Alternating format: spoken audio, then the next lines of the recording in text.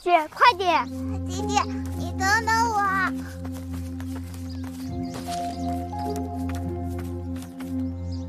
他趴在这很久了，你说他是不是生病了？他断了一只翅膀，以后都飞不起来了吧？那是如烟最后一次见他的弟弟，后来他就被父亲带到了醉花楼，卖给了苏妈妈。再后来，他的父亲、弟弟、母亲就都离开这儿了。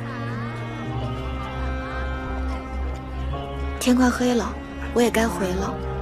据说，醉花楼正在举行驱除邪祟的仪式，你确定要这时候回去？面对总比逃避好。再说了，我是如烟唯一的朋友，又能躲到哪里去？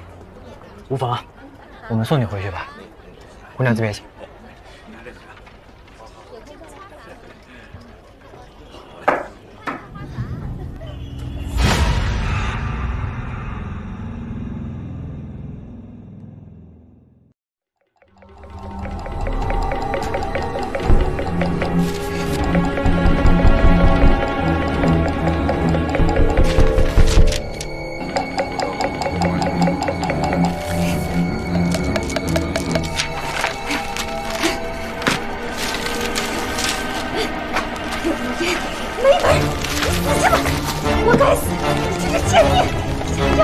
下个辈儿，我分死你！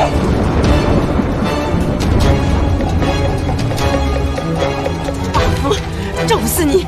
柳如烟，不管你是人是鬼，我要你投不了胎，不得安息！放肆！如烟，我错了，求求你放过我，一年前的事是我的错。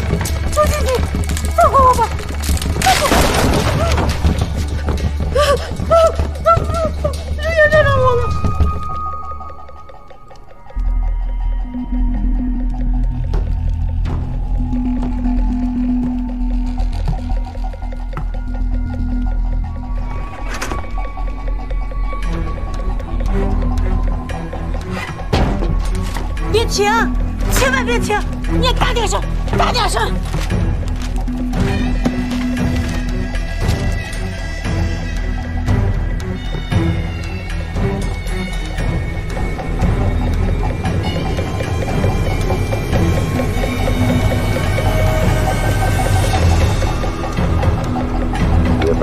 分心，念超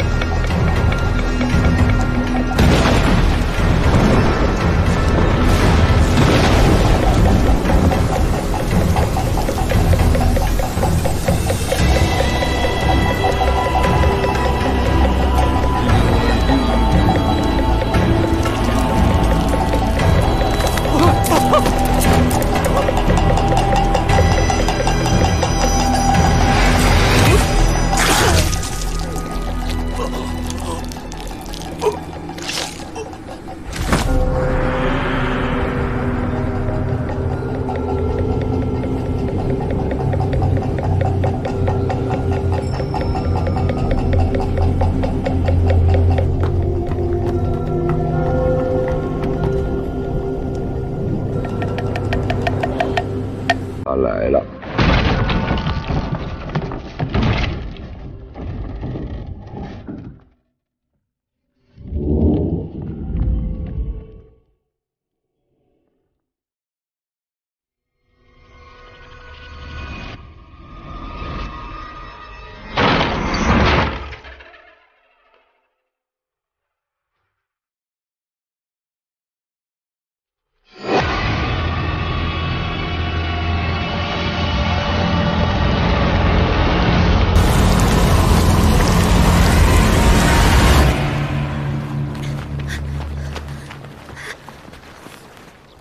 在这世上，根本不可能有鬼神。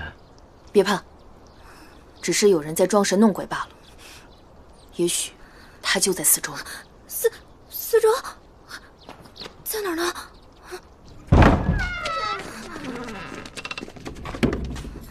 大家当心一点。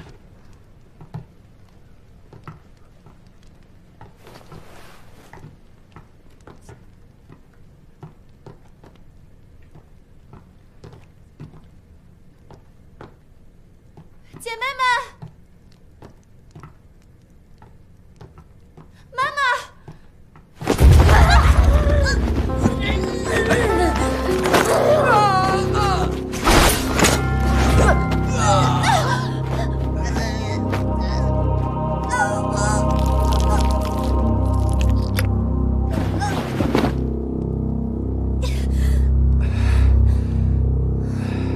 你们说的是这个吧？这看起来是一种蛊。有突破口了！那就好。我来晚了，我是做过什么了吗？你还不如不来呢。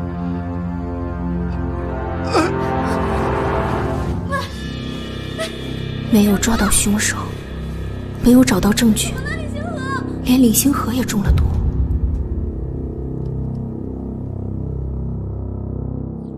第二天，似乎一切都回归了平静，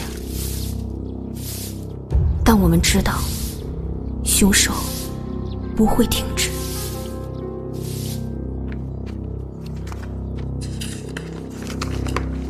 怎么样，都没找到毒虫谷吗？没有啊。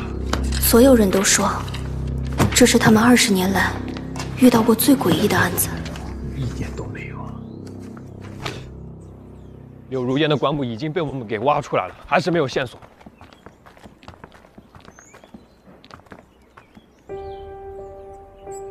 这世上，青楼女子没有选择的权利。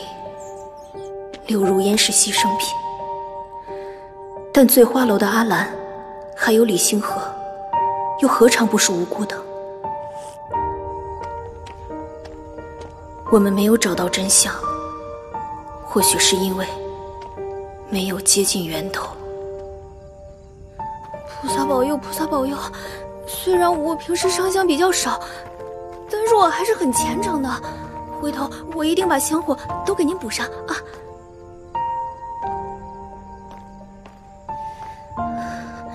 张小萌，你打起精神来，你再不破案，李星河就死了。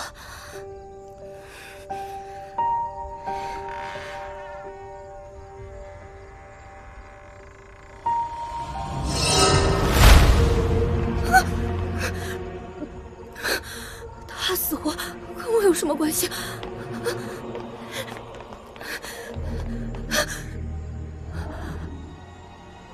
水魂，我死定了！